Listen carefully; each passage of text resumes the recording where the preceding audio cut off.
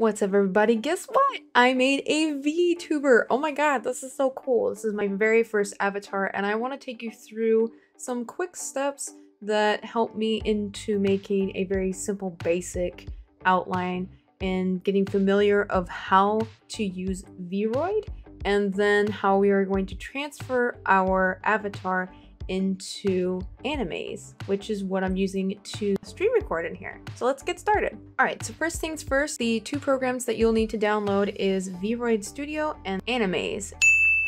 So when you open it up, it'll look something like this. You're more than welcome to use the sample models that they have here on the bottom left, but if you want to create your own, go ahead and press on the left-hand side where it says create new. There is a feminine and masculine. I think today we're going to go ahead and do the feminine one for me. So when you open up your studio, you'll notice that everything feels kind of out of place. Like, what do I play with? But when you come in here, they have what's called face sets, eye sets, irises, eye highlights, scalarias. Scalarias? Scleras. So I'm sorry if I said that wrong. Mm. Eyebrows, eyelids, eyeliner, eyelashes, nose, mouth, mouth inside, lips, cheeks, skin, face paint, and expressions editor. So I'm just going to go ahead and make a generic one where it already has a preset of it.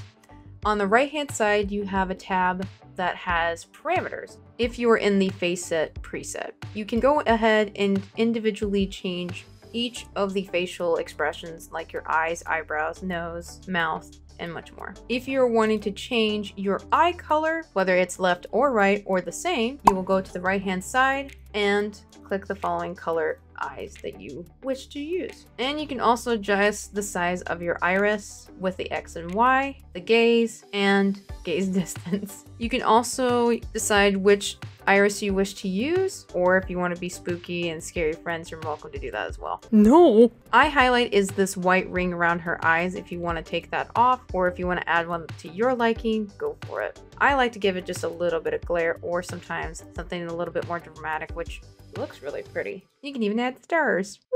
Okay, we're going with Clover. I love you. This actually can do a little bit eye shading just to kind of give it a little bit more realistic look rather than just this plain white. But again, to your liking, they have eye presets in here or you can add in your own custom one by clicking the plus sign and then going in and adjusting it to your design and then you will hit save or no, it automatically saves. I'm sorry. But I'm going to go ahead and use the preset one and then adjust to it to my liking. Next, we're going over to the eyelids, which if you want to give the eye sockets a little bit more depth or less of a depth. You can also change the color based on your preference over on the right hand side by customize. Eyeliner, I'm somebody that loves the cat eye look. They also have some fun ones in here if you wish to do a different style. You can also change your color of eyeliner in the customize tab over on the right hand side. If you want thick, less, lower lash, upper lash, and then you can also change the color of the lash as well. Next for the nose, there's very simple basic ones in here, and also you can change to the color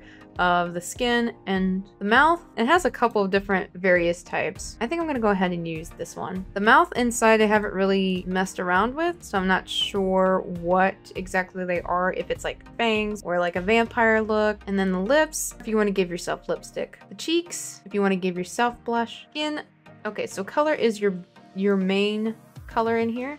Darker colors would be for shading, and then lighter color for highlights. You can also adjust the size of your ears. You can do ear stretch, ear prominence, rounded ears. You can remove the ears, cheekbone position, sunken cheeks, chin, jawline, chin length, and much more. Face paint is something if you want to give it an expression or some whiskers, tears, a band-aid, wrinkles. The expression editor will let you know what you'll look like when you smile, when you're sad, when you're angry, when you're happy, when you're surprised, closed, right, left eye, A, I, U, E, and O. And then back to neutral. You can also adjust it to what you prefer when they smile or when they're sad and so on forth on the right hand side. Okay, now that we got our facial and head part done, you can also use presettings for hairstyles and you can change your hair color. You can also adjust the hair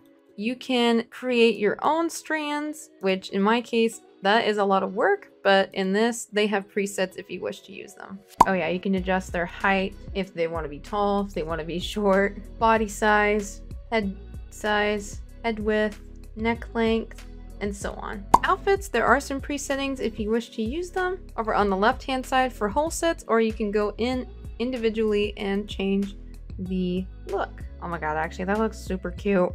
you also have some custom ones if you wish, if you click the plus sign on the left for tops and go inside and individually change them, color, texture, and all. And then they do have a couple of cute little accessories here if you wish to use them, which I think are so cute. And you can rotate the ears accordingly, and you can change the color of it. You can make your ears bigger or smaller. It's pretty cool. You can also put them both on, which I thought is kind of interesting. And you can also put in glasses, which I think she looks adorable, to be honest. There's also intensity for hair and whatnot. If you need to zoom in and zoom out, there we go. She looks adorable. And then if you want to test out her features, you can also check out poses and animations. I think that's pretty cool. Angry laugh. oh. Just to double check if everything does look okay. Then once you're done and you're satisfied with your avatar, you're to hit export as VRM. It does take a while, so please be patient with it. It might be a little slow based on uh, how fast it downloads. You'll hit export and then give a name to your avatar. And then you can add the avatar personality if you wish, but I am going to send it just to me. You are more than welcome to give it to anybody if you wish to. And for this, I just used the creative license. And then you can do additional license information URL if you wish to, otherwise hit export and then save it to your preferred folder. Make sure that you're constantly saving or you'll lose everything. And then it'll always be saved in your recently edited menu. Okay, now that we got that done and it's saved, now we're to go ahead and go to Animaze. Since I already have it open, since I am using it for streaming, you can kind of see how um, everything is very preset. I will tell you before you stream to have this app open first because if you try to open it with OBS and this open, it's to have a hard time trying to get your camera on here. To do this, we are going to go ahead and add a new avatar. So in here, you'll notice that there are a presetting for avatars if you wish to use them. To add in a new avatar, you're going to hit the plus sign, select the one you wish to use, hit open, and then it will import it. Okay, now once it is imported, you're more than welcome to keep this open or you can click they don't show me this again. It's just letting you know that if you do have trouble and you do need help to get started that they do provide you with the link. Oh, she looks so adorable. Right now, you guys can't see it just because it is currently recording, but my background is green. Why? To change your background, you're going to go to backgrounds on the second option on the left hand side and click green screen. The other option too, if you can't see it, you can also type it in the search bar for green screen and it should pop up right there for you. Now we just need to turn on to our camera by clicking on the cog wheel for settings video graphics, and webcam at the very top. That'll let you get to your cam link or whichever you use for your video camera.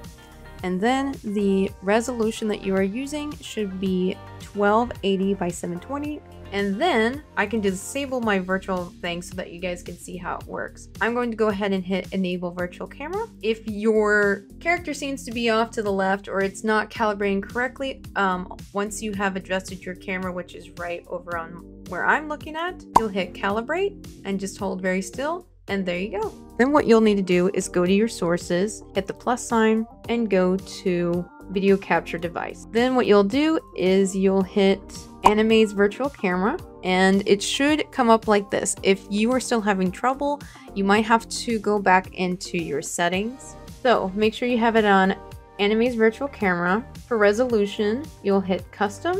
The resolution should be 1280 by 720. You will leave it at match output FPS. Video format XRGB.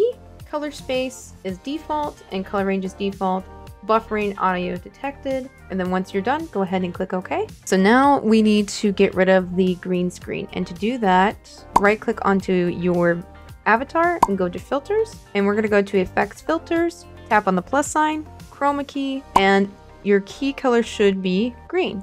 Once you're done, go ahead and hit close. And now you should have something similar to this. If you need to move your avatar, all the settings are available right in the Animaze app. Uh, your character, you'll just hold control and then move your character accordingly. You can move her up and down, zoom in closely. You can also have her wave, give a thumbs up.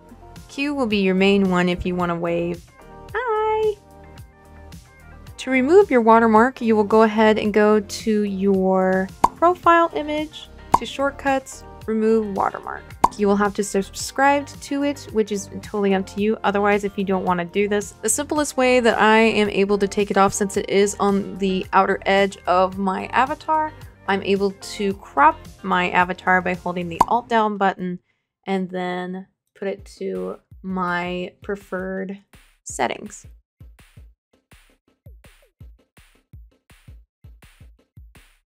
And voila! Pretty simple, right?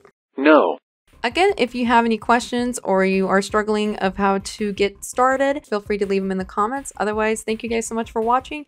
I had lots of fun making this little character. I think she looks absolutely adorable. Otherwise, thank you guys so much for coming and watching. I had an awesome time showing you guys this. Hopefully this helps you out in getting you started.